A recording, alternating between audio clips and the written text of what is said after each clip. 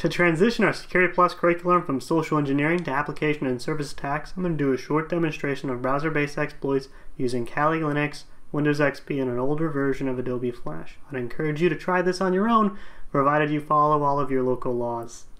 I've selected an Adobe Flash use after free vulnerability from 2015 in the Metasploit framework on Kali Linux. Show the options for that. The default port this exploit listens on is 8080. I'm going to set that port to 80. And this will look like normal HTTP traffic. I'm going to set the URI path to free iPad.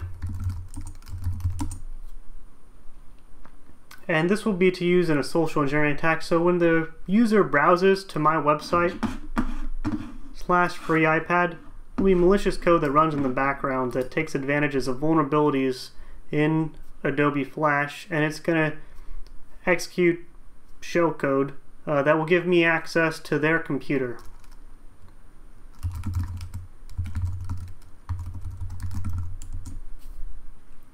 So when I, the user, browse to this website, um, either I just found it as I'm going through the internet, or more likely I got a social engineering email, spam, or other effort that directs me to this website. I click on the link, I load it, Looks like it's taking a while to load.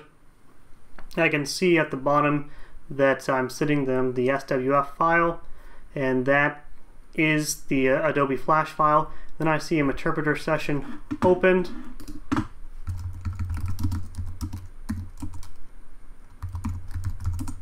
So you can see that the username of this system is Windows XP and I'm just going to shut down their computer from interpreter to show that I have access to it.